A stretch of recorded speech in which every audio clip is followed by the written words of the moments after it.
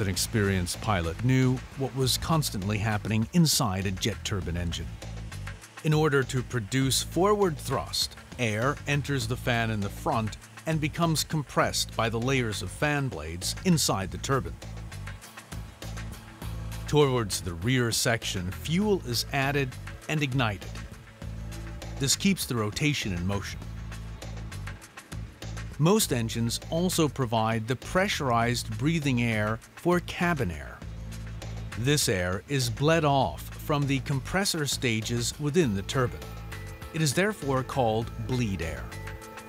The fan blades must rotate constantly and smoothly around the central shaft, which requires a special lubricant, the synthetic engine oil.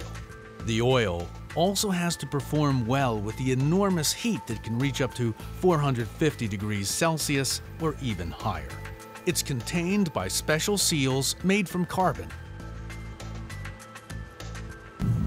But whenever thrust is increased or reduced, small amounts of oil may leak through the seals and enter the airstream.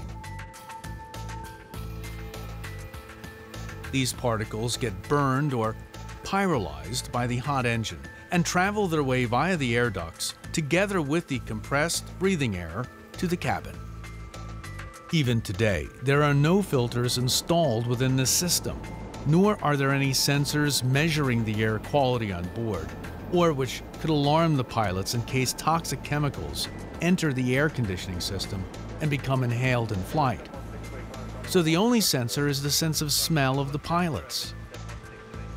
If the seals are aging or fail completely, then visible smoke may enter the cockpit and the cabin.